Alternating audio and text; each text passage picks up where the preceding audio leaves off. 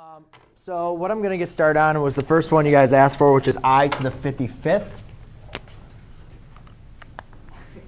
So we have i to the 55th. All right, so what we need to remember for this one is, real quickly, just going back to uh, remembering what our i stood for. Remember i, we represented the square root of negative 1, right?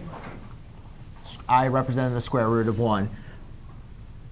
And we can also rewrite it as i to the first power. And then what we did is we kept on re rewriting i times i times i times i. So then we end up getting i squared. Well, square, square root of negative 1 squared end up equaling just negative 1.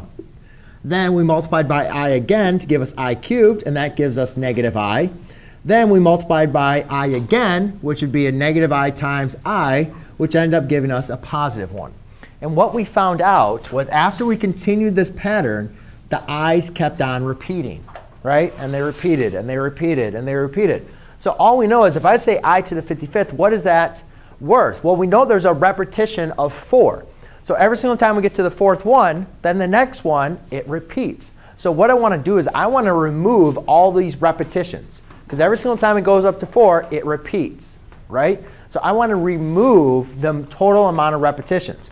So it takes four times for it to repeat. So what I'm going to do is I'm going to say, all right, 55 divided by 4. Because 4 is going to represent how many times it's going to take for it to repeat.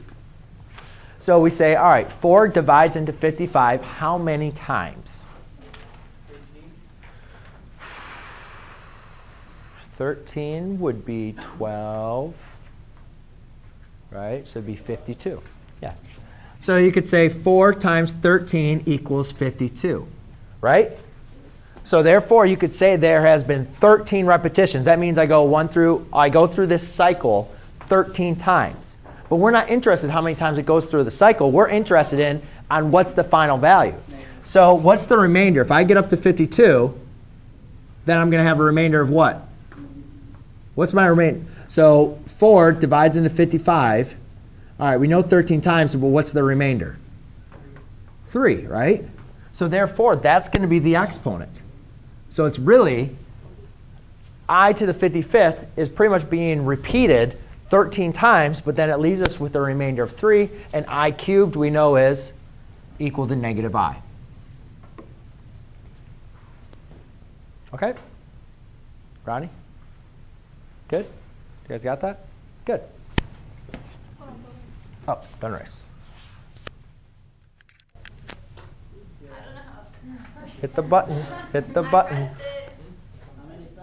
There we go.